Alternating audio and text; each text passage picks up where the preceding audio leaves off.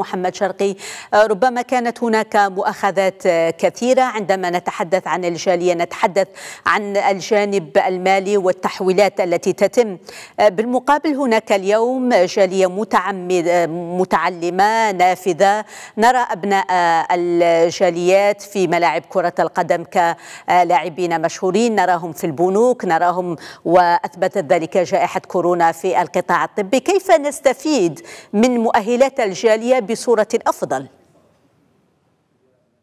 أعتقد أن الجالية اليوم آه، ونسميها مغاربة العالم نعم. عندهم ما يسمى آه، الجهة 13 نحن تعرفوا أن المملكة المغربية فيها 12 جهة وهناك الجهه 13 والجهة 13 هي مجموع المواطنين المغاربة الذين يقيمون في الخارج. آه، الهدف من هذه الفكرة ديال الجهة 13 هي تسهيل الإجراءات آه، الإدارية والاقتصادية والماليه والتجارية والتعليمية ولكن أساسا هي ربط واحد العلاقة مع آه، الجامعات ومع كما قلت الرياضيين والفنانين والباحثين والعلماء والخبراء في العالم لأن اليوم المغرب الحمد لله يعني نصف مليون مغربي عندهم بين خمس يعني bac plus 5 وبين دكتوراه.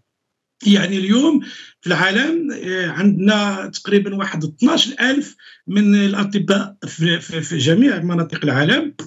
وعندنا عشرات نقولوا ديال الألاف ديال ديال التقنيين في جميع المجالات يعني في الهندسة في صناعة الطائرات في صناعة الأقمار الصناعية حتى في صناعة تكنولوجيا الفضاء يعني شفناها. والمغاربة يعني ساهموا في الوصول يعني إلى إلى المريخ يعني هذا فقط للتذكير بالتالي يعني هذه الجالية اليوم هي كما تفضلت هي ماشي الجالية اللي كانت في الستينات. طبعا الجالية الأولى كانت نسميوها العمال المغاربة في الخارج ثم الجيل الثاني هو الجيل اللي وصل لواحد المستوى متوسط من من من تواجده داخل دول المهجر ولكن الجيل الثالث والجيل الرابع الجيل الثالث اللي حنا شفناه ولا وزراء ولا برلمانيين ولا ناس يصنعون القرار داخل دولهم. وحنا شفناها يعني في داخل يعني الحكومات الأوروبية لأنه 90% من الجالية المغربية ومن المغاربه العالم يعيشون في في الديار الأوروبية.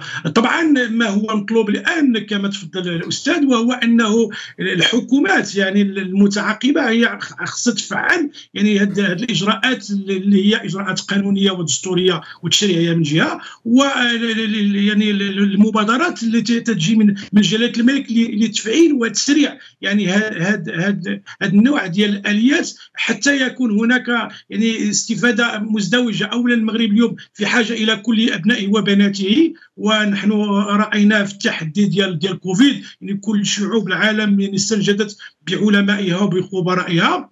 والشيء الثاني وهو أن نغير ديك الصورة النمطية اللي عند بعض الناس وعند حتى الإدارة للأسف هو انه المهاجرين هما دوك الناس اللي كانوا تيجي واحد الوقت وتيشريو العقار وتيجيب السيارة مملوءة بالهدايا وتيحط واحد يعني واحد الفائض مالي في البنك. أعتقد أن هذه الصورة النمطيه خصنا نزولوها الشيء الثالث أتمنى أن الإدارة مع مغاربة العالم تكون إدارة غير ورقية. يعني التكنولوجيا 100% وهذا غادي يسهل علينا واحد المجموعة ديال الإجراءات. ما تبقاش الورق وهذا ما نساوش واحد المسألة. هو أنه مغاربة العالم ينتمون ويعيشون في دول متقدمة اقتصاديا واجتماعيا وتكنولوجيا. وبالتالي علينا أن نواكب أنا تنتكلم على الجيل طيب. الثالث والجيل الرابع علينا أن نواكب هذه الأجيال. بالتالي يعني باش تشعر على أنه ما كاينش هناك فوارق وبالتالي هذا غادي يشجع أنه تجي تستثمر تجي تعيش يكون هناك روابط أكثر وبالتالي تكون هناك استفادة أكثر من هذا الفكرة ديال يعني ما يسمى الجهة 13